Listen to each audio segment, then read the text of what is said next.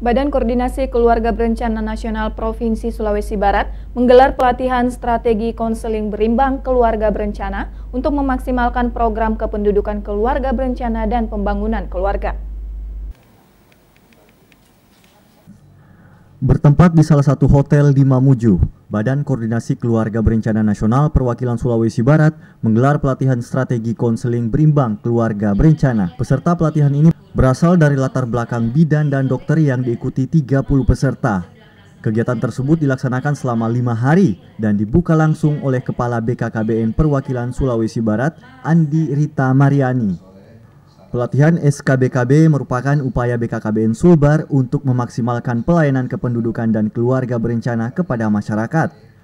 Kepala BKKBN Sulbar juga melakukan penyematan kepada dua peserta sebagai tanda pelatihan strategi konseling berimbang keluarga berencana dimulai. Kepala BKKBN Perwakilan Sulawesi Barat Andi Rita Mariani mengungkapkan dengan memberikan pelatihan kepada para peserta sebagai bekal untuk diimplementasikan nantinya di wilayah kerja masing-masing peserta rencana tadi sudah sangat jelas disampaikan oleh Pak Suwardi bahwa apa sih yang melatar belakangnya. Tentu kegiatan ini kita anggap adalah kegiatan strategis. Kenapa?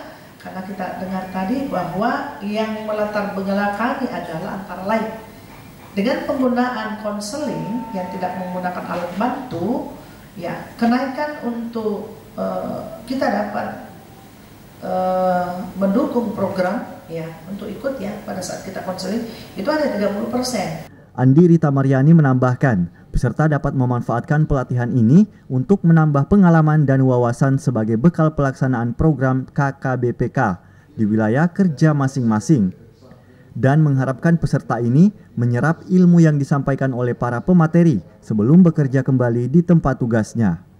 Dari Kabupaten Mamuju, Abdul Jalal Ainius melaporkan.